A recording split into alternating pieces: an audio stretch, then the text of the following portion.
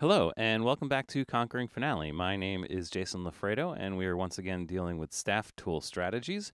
We're looking at staff attributes again, more specifically note head font, note shapes, and stem settings. So let's go into the staff attributes for my Flute 2 part here. And what we're dealing with is the note head font, which is in the independent elements. And when you have something selected here, uh, essentially what it means is that the Flute 2 part in this case will have this independent note head font. Everything else will uh, remain the same. The other piece of the video that we're looking at is the note shapes over here, and then finally the stem settings down in the items to display. But let's start with the note head font because that's the simplest. And when you check that and then press select, uh, we get a typical font selection window in Finale. Now from here we can literally choose any font we want, but more often than not, it's likely that you want to choose a font that's actually a music font. So instead of the Maestro font here, I could choose the Maestro Percussion, which has a bunch of different characters. Now when I select that, nothing's going to appear to change uh, because it just so happens that the note head uh, characters are in the same slot between Maestro and Maestro Percussion. So until you start changing things with the note shapes, uh, this won't actually do anything. But we could actually choose a completely different music font if we wanted to. In fact, I can go up here and select Jazz, which is another Finale music font, and I'll get Jazz font note heads. And you'll almost barely see a difference between the filled in note heads, but you'll see a bigger difference in the half and whole notes uh, compared to the oboe part there. Uh, now, what won't happen is the things like the flags will not become uh, part of the Jazz font because if you're familiar with the Jazz font uh, setup, you know the flags are a Jazz font. Also, the time signature, the key, the you know the key and everything. So it's really literally only the note heads that are, that are changing. So this is probably not the most practical way to use this. Now, again, using something like Maestro Percussion can be a little bit more practical. If I can find it again, there it is um, if you start using note shapes. And the, the principle behind note shapes is that when you press the settings here, we get this little window, and this will allow us to replace uh, certain um, pitches either on a scale degree at pitch for either the double whole, whole, half, or quarter note heads. And the quarter note heads is just a filled in note head, so that would apply to eighths, sixteenths, etc. And uh, it's a pretty simple thing to do. Just select quarter, decide if you're going to do this by pitch or by scale degree. So let's say I'm going to do it by pitch, and then choose the pitch. You're choosing an individual pitch here, and then you're replacing the quarter note on D with this symbol and press select, and you'll get the symbol selection for the entire Maestro percussion uh, font set. So instead of the normal um, uh, notehead font, we could choose something else like, let's say, the little triangle here and press select. Now, whenever I see a D on the staff, uh, a filled in D, either quarter, eighth, or sixteenth, and whatnot, uh, it will be that triangle. And then we can choose another one. So let's say E, quarter note, and we can choose something like uh, the little whatever that is, little half moon guy. And then we can choose F and do something else. We can choose the next one there, which is the diamond.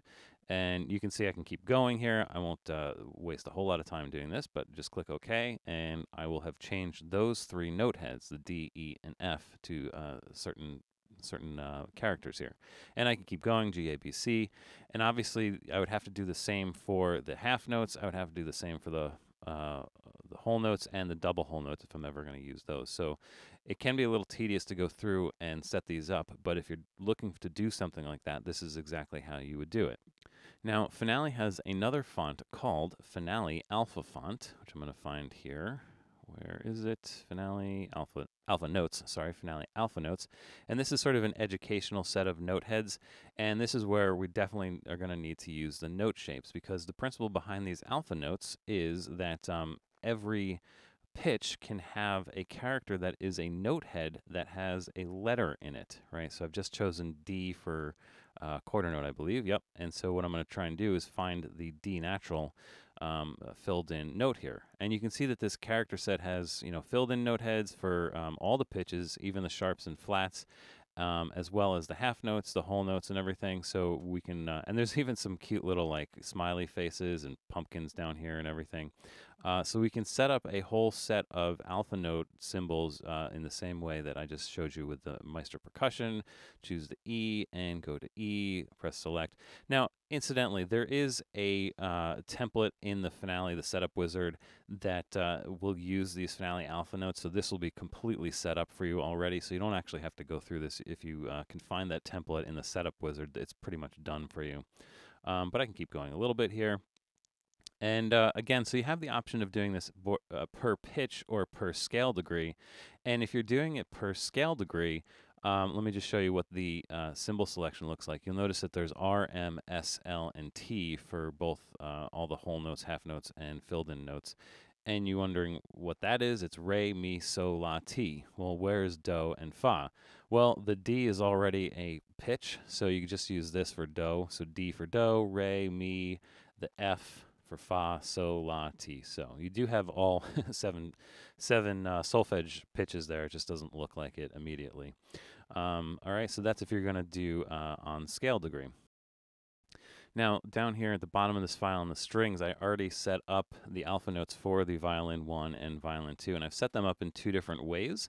You can see that the violin 1 is set as a pitch class, so you'll see D, E, let me see if I can zoom in even more so you can see that a little better, D, E, F, G, A, B, C, D, uh, and I even did the half notes here, and violin 2 is set up with solfege, Do, Re, Mi, Fa, Sol, La, Ti, Do. Now the cool thing is that you know you can move these notes around obviously, and the letters will change as you change the pitches. So if I uh, transpose it down, now it says C D E F, D E F, E F G, etc., and all the note heads will change because the alpha notes are pinned to the uh, specific note class, right? Now the other thing you may notice is that I decided in this case to use F instead of F natural here. Um, you know the reason is because you you don't have control over uh, all 12 pitches in the uh, note shapes. You'll see uh, in the at pitch, you, you only have the pitch classes, so A, B, C, D, E, F, and G. Um, so you can't actually choose, uh, you know, uh, you know, F sharp versus F flat or whatever. Um, so you do have to make a choice. If you're never going to go outside of the key, then I probably could have used F sharp here. But uh, if I were to ever put an F natural in the piece, then that would be a problem because it would still say F sharp even though there's a natural sign in front of it. So you just kind of have to make a choice about how you're going to do that. And in this case, I've chosen to do it this way. Uh, and also with the solfege, what's cool is that, you know, if you change the key, say I'm going to go to E major here, um, what you'll see is that it will still read do, re, mi, fa, sol, la, ti, do, because again, this is uh, based on scale degree, not on pitch class. Now, something else that's kind of cool and maybe a little whimsical is that the font selection dialog box here will allow you to pretty much pick any font from your system that you want. So theoretically, you could select some random text font and have you know text characters as uh, note heads if you really want to. In fact, I figured out that the Wingdings 2 has some interesting uh, characters that you can use as note heads. You can even see here there's there's some filled in um, numbers here that you can use instead of letters from the Finale alpha notes. Now, when you use a normal font that's not a music font built for Finale, you do have to be careful of the size because proportionally the music font sizes in Finale is going to be very different than the text font. So you're going to choose something different here. And I fi figured out that Wingdings 2 size 9 actually works uh, fairly well for this. And when I do this, of course, I'm going to want to use the note shapes. So we can go in here and say the D and then select the character. Now this is the Wingdings 2 uh, font set here, and you can see that I have all of these characters here, so I could choose one here. Actually, probably what I should have done is uh, scale degree 1, not uh, at pitch D. So scale degree 1, 1, and that's for the double whole note. Let's do that for the quarter note, rather. And uh, etc. And then we can do scale degree 2, and we can choose 2 and we can go on and on and on like this and we'll get something that says you know one two and if I'd kept going it would three four five six seven. Uh, and then I could have done the half notes as well. Um, I actually have it set up in the cello part already so let me just do something here. I'm just gonna copy and paste this here and move this up an octave. And uh, you'll see that I've I've got those um, uh, Wingdings font there now, you may be noticing something right off the bat. The um, Where it says 4 here, and remember this is a copy of the bass part, that should be a G, but that's actually an A, right?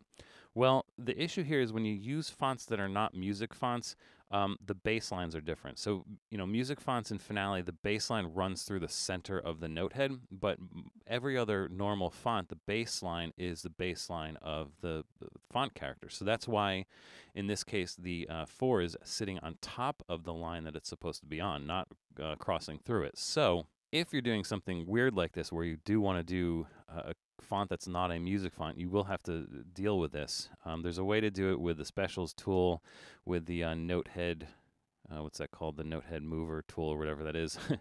and but you do need to right click, allow vertical positioning, and then you know drag this around. And then this could get very tedious trying to get these all in place, you know, one at a time. You know, fortunately there is a uh, plugin for this. If you happen to have the JW set of plugins, there's one called JW Change and there's a thing for note heads vertical position so we can actually change the vertical position. And I had figured this out for this particular font at this size. We need a vertical offset of negative what is it?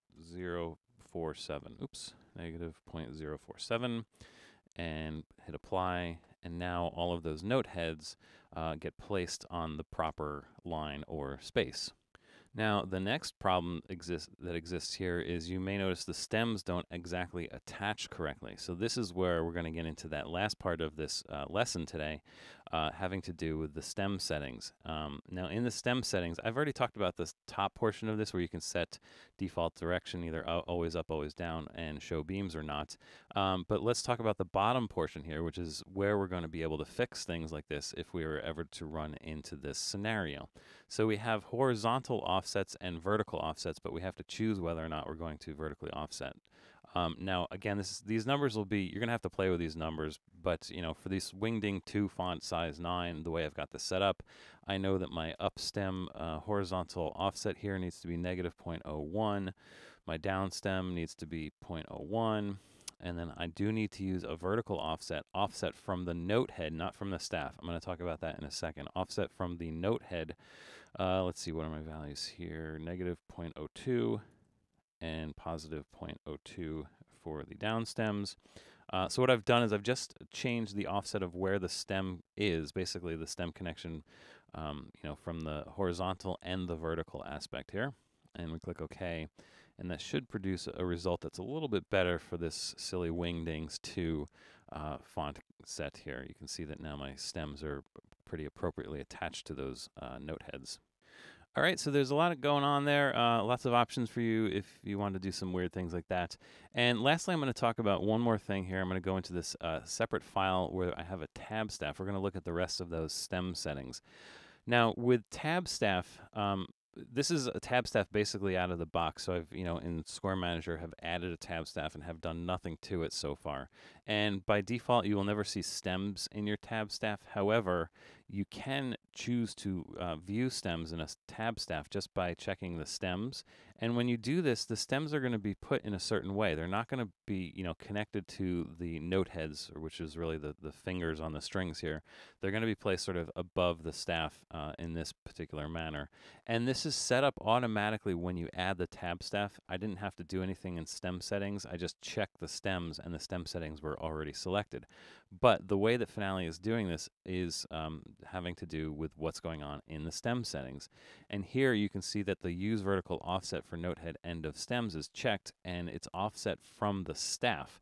And then the bottom option here, use vertical offset for beam end of stems, offset from staff is also checked. And there's values here for everything. So what is this exactly and how does this work?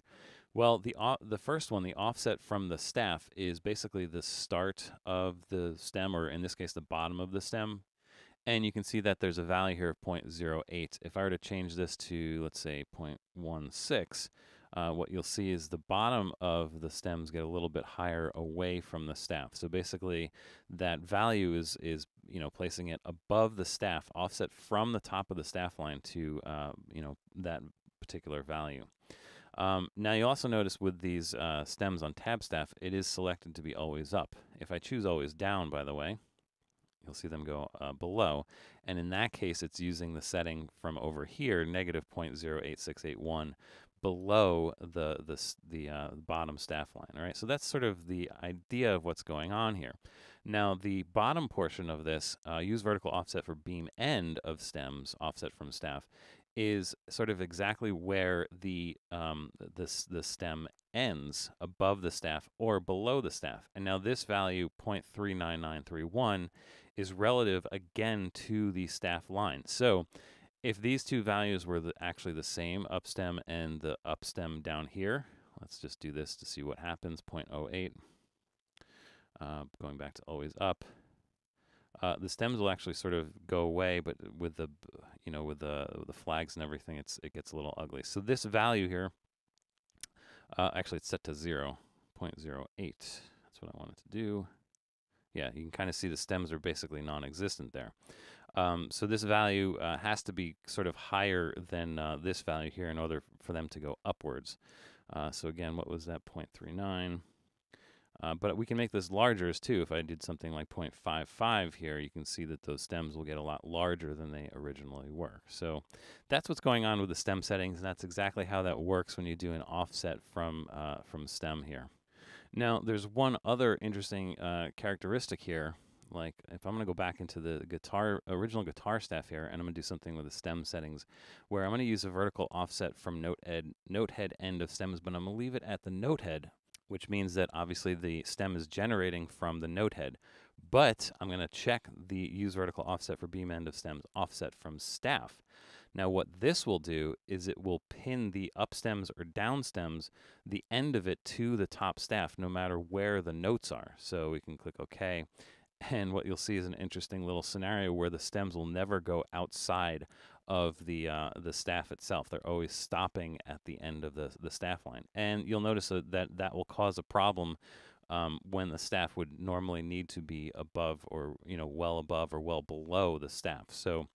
Um, this is an interesting way to use it. Uh, you know, kind of looks somewhat neat if you you know transpose these notes a little bit far farther down. You can see that everything's just pinning to the top uh, staff line here, but not the most practical thing to do, but it's a it's a little interesting little um, side note that you can do this. So offset from note head and pin it to the um, uh, the end of the the staff. But you can also choose a a um, uh, an offset here as well. So if I choose 0.5 here, uh, then now you'll see all of these up stems will kind of go to the uh, to all the way up here. So a lot of different sometimes weird options that are available in this stem settings if you manipulate it in certain ways. All right. So I think that's it for um, this lesson. It's a sort of a weird lesson on some esoteric kind of settings in the staff attributes, but uh, you know that's what you've got. Now you have a really deep understanding of the staff attributes in Finale. So once again, thanks for watching. My name is Jason, and uh, you know don't forget to subscribe. And yeah, I'll see you soon on the next video.